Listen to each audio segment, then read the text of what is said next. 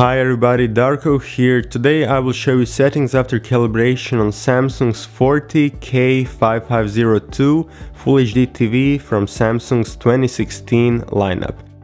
This is a Full HD TV with LED backlight featuring Samsung's Tizen Smart TV platform and good picture processing which will give you a solid result for watching standard and HD resolution content.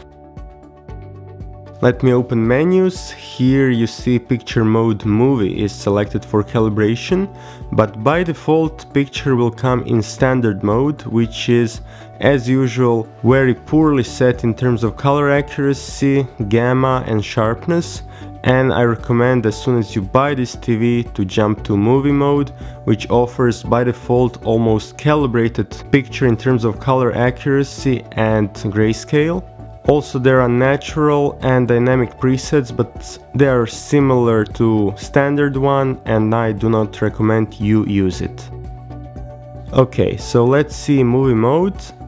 Here special viewing mode should be disabled unless you want to play games. Right now for movies, for watching DVDs, TV content, it should be turned off. Picture size 16 by 9 standard and here it's important to have fit to screen on or on auto setting. And expert settings offer backlight at 16 so by default in movie mode you will have something like 170 nits of peak luminance. My aim after calibration was between 180 and 190 nits, which I see as perfect balance for daytime and nighttime viewing. For your information, this TV can reach peak luminance of 280 nits in dynamic mode, so if you need brighter image, you just increase this value. Brightness was set correctly by default, so value 45 is untouched. Contrast by default was at 100 and I noticed pinkish whites so I reduced it to 91 to get more balanced and better looking picture. Sharpness at 10 will give you perfectly natural image without artificial sharpening and without any blur that you might see if you reduce it down to 0. So I recommend keeping it at 10. Color and tint without modification you can copy all these settings with this option, so from this input to other inputs.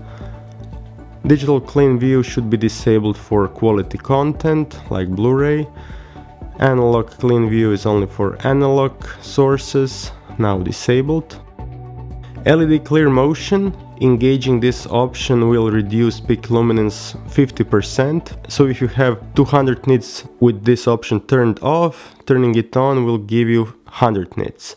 I did motion resolution tests and I can tell you this option will not improve motion resolution. Instead, you will get flickering image, uh, darker image and more visible doubling of objects. So objects that are moving across the screen will have more shadows behind them. Film mode Auto 2, depending on source, sometimes this option will be disabled. Basically, it's good to have it at Auto 2 for interlaced content. HDMI black level at Auto works well. Dynamic contrast should be disabled. Color tone by default, very precise grayscale, so keeping it at warm 2 will give you great result. White balance, since grayscale was very well set by default, I only did 2 point adjustment and as you can see, blue offset at minus 1 and green gain at minus 2. And this gave very flat grayscale from 10% up to 100% and overall very very nice result. 10 point adjustment as I said is disabled. Gamma at 0 so after I reduced contrast I got really flat 2.2 curvature which is also great for watching content and I recommend it. RGB only mode should be disabled. Color space by default very precise Rec 709 coverage. After calibration 99.4% so almost 100% coverage, great result. Now I will show you what I did starting with red So small tweaks, red 47, green 0, blue 3. And now let's go to green, which I adjusted a little bit, red 5, green 47, blue 5. Blue, red 0, green 7, blue 48. Yellow, red 52, green 47, blue 5. Cyan, red 0, green 50, blue 51. Magenta, red 44, green 7, blue 46.